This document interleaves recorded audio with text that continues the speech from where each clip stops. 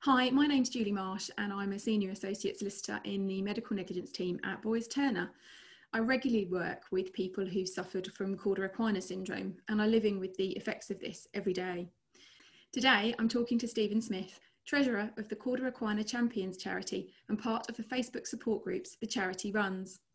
10 years ago, Steven was suffering with bad sciatic back pain and was out shopping when he experienced a worsening of his symptoms and red flags for Cauda equina syndrome. Steven went to see his GP, who recognised the loss of bladder control as a red flag and sent him on to accident and emergency for further investigations. After a wait of some hours, Steven was transferred to his local specialist neurosurgery hospital and had a, an operation to address a herniated disc in his back. Cauda equina syndrome has changed his life forever. Today, he's here to tell us a bit more about Cauda equina, what has changed for him as a result of his condition, and what support the charity can offer to those living with the condition. Hi, Steven. Thanks for joining me today. Morning. Yeah, right. Thanks. So, Cauda equina syndrome. Um, I think if I asked 100 people on the street if they knew what the condition was or what it meant to somebody living with the condition, I think only a very few would really be able to answer. Had you yourself heard of Cauda equina before you experienced the condition? Not really. Um, I've not really heard of. Um, a few years previously, I had a similar sort of experience. Um, similar things, I couldn't walk. Uh, I had major surgery on my spine. but I recovered from that. Nothing happening. But no one mentioned Cauda equina. I'd never heard of it. The first time I heard of it is after that incident when I went shopping, is when my GP said Cauda equina syndrome and he rushed me to the local A&E. That's the first I'd ever heard of it. Never heard of it before. Right. And despite surgery to treat the condition, you're still living with quite extreme problems. Can you explain the issues that you still have? Yeah, my main issue now is mobility. Um, left leg has been left severely nerve damage from when I first had my second operation. Um, from the knee down, awful. 24 7 pain, left foot, I can't put any pressure on it. I with walking aids or wheelchair longer distances. Um, the pain is unbearable, like electric shocks, burning feeling, uh, like you walk on ice or bed of nails half the time. Um, I also get intermittent uh, bladder problems um, still 10 years.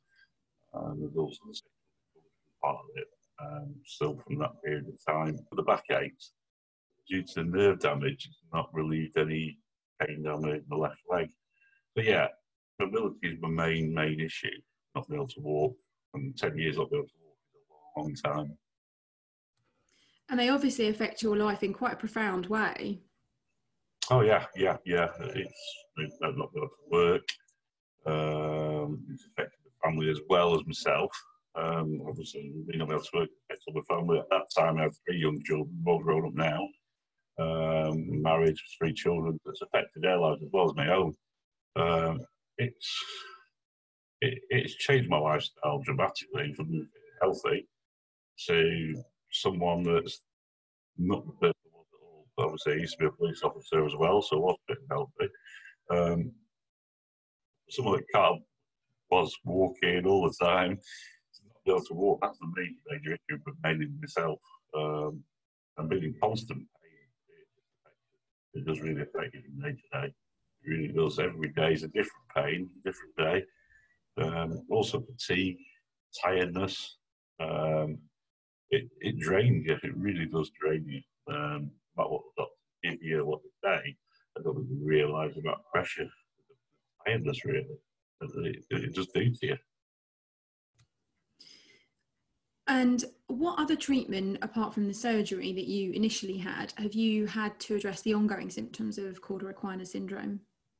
Uh, over the 10 years, I've had, I've had about 10 surgeries in, in the years that I've had different surgeries. Um, I've had a spinal cord stimulator fitted with two different types of those. I've had infections of those, which has meant rewiring, um, more surgeries. I've had upper spine has also been affected. So I've been walking, so I've had this is on the top of my neck, um, which is my neck, my shoulders, uh, my left arm, hand. The women keep gripping me left hand now due to crooked. is obviously uh, affected as well. So I've also got osteoarthritis in the neck due to all this as well. Uh, so it's an ongoing, everything's ongoing, ongoing, ongoing, ongoing. Um, and after the first operation, it was continuous hospital. Yeah, and as the years go by, I seem to pick up something else from the body as a result of this. Probably the way I do walk and things like that. Yes. So an ever evolving kind of process of yeah, learning yeah. more about the injury and, and, and the ongoing effect that it's taking on your body. Yeah.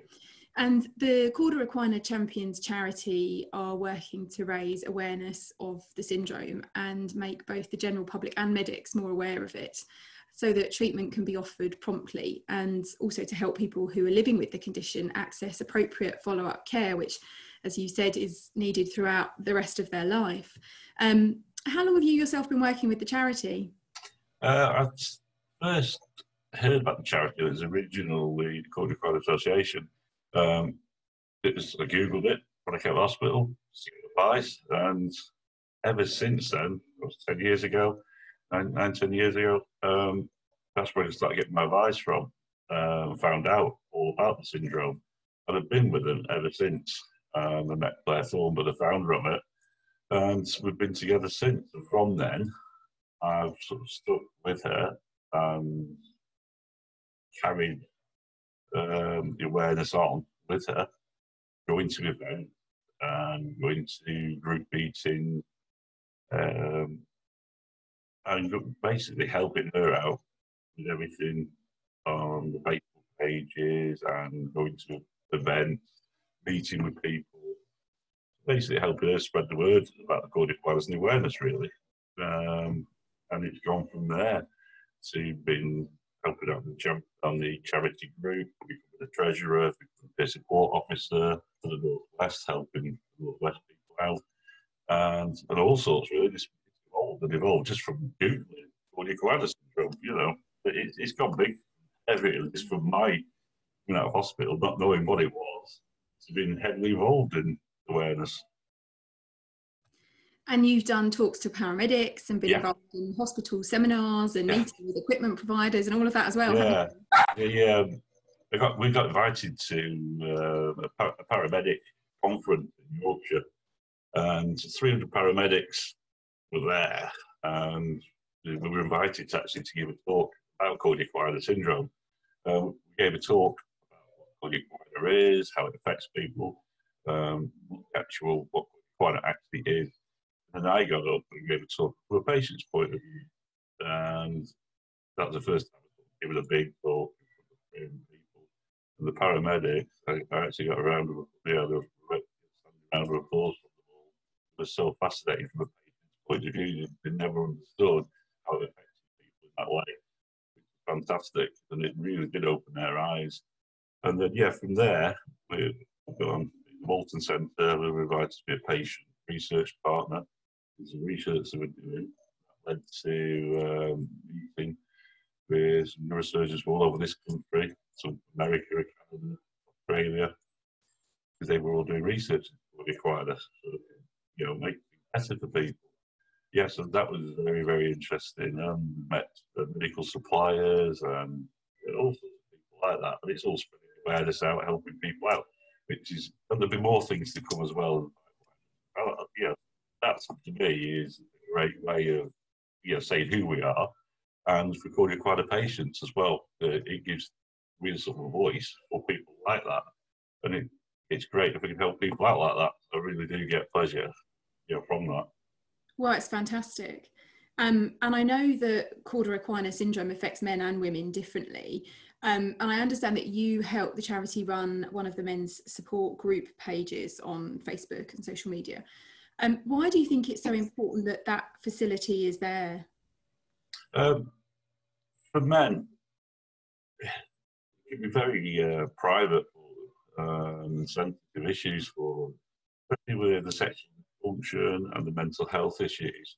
Um, it's a place for them on this site where they can talk freely, um, get advice among themselves. Um, the main thing is the privacy, be able to talk freely, and it's a great forum um, for them um, express themselves. It's a place where there's no worries uh, or anything like that, but it helps them immensely. Um, there are products out there to help, and there are drugs out there to help. The medical advice there, put them in the right direction, signpost them together, how to get this sort of help. And, and they're, they're, totally aware of it, a lot of the males. Um, some males don't even speak to the partners about this problem. Um, but it gets worse, the relationships get worse.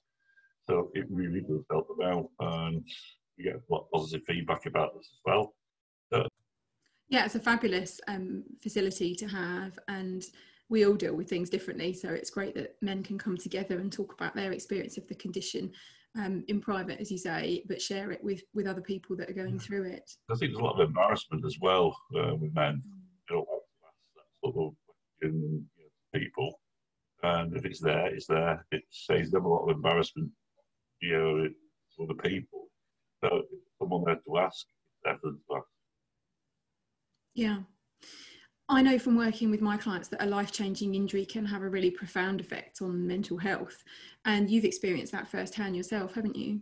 Yeah. Um, when I first uh, came to hospital, uh, first I was know, from getting over surgery.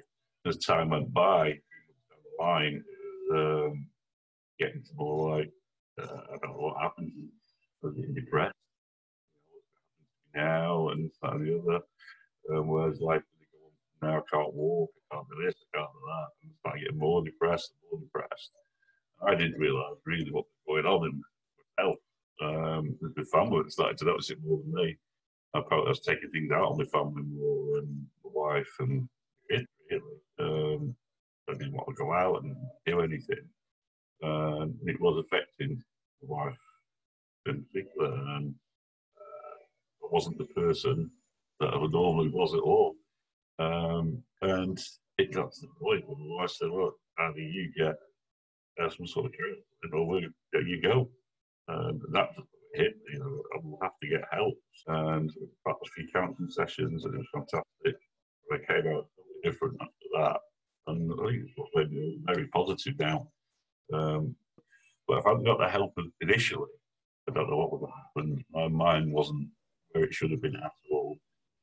I had to think, you know, family sake, my own sake, you know. So yeah, mm. um, I always encourage people if you get to that point, you should go and seek some sort of, you know, go to and go from there. Yeah, yeah. Yeah, it, so. Major, major issue, mental health with Yeah, yeah.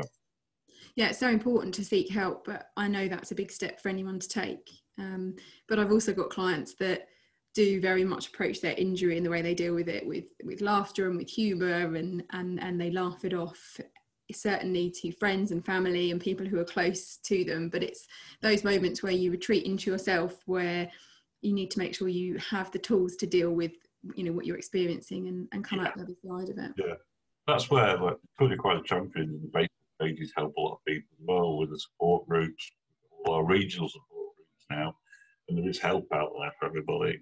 There are people to talk to now. We have our helplines, we have peer group support officers in every region. There's someone to listen to people all the time, like myself in the Northwest. If anyone wants to get us, we're here. We're there to support you. We're there to talk to you. Um, you know, it's not just about ourselves because we've been through it, but even though you know people might, a lot of people don't want to get that help, but there is help out there, either counsellors or people mm-hmm. people. That's how people should all and it's important to support the friends and family of those living with it as well so that they can help support the individual and recognise when they need that bit of extra support as well. People always forget the family. The family suffer just as much as the recorded by the patient. And the family is just as important that family. have to look after the person suffering a chronic and very often people forget those because they don't realise what's going on as well. Um, they have to come to terms with this disability. And for some people, they're stuck in a wheelchair forever, or they have other problems. It's just important the family get that support as well. Really important. Yeah. And on 1st of October, it's the first Cauda equina syndrome day. Um, the aim is to raise awareness of the red flag symptoms so that people don't experience a delay in diagnosis of the condition, which is sadly something that I see happen, um, and with, of course, devastating consequences. I know that you and the Claire, you and Claire, and all at the charity are working tirelessly to raise awareness of cauda equina syndrome and offer support to those people affected by it and those living with it thank you so much for joining me today, for sharing your story, uh, telling us about the, the, work that the charity do and the support that they're offering to people who are living with cauda equina syndrome. All right, Julie. Thanks for the opportunity to uh, talk to you. Thank you very much. Thanks, Steven.